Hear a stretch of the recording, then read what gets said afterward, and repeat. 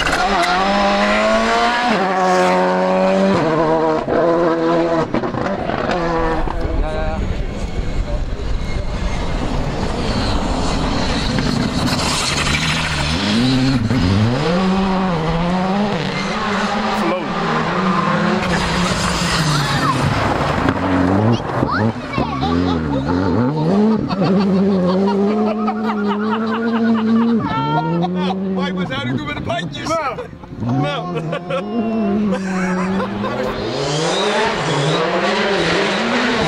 Mel.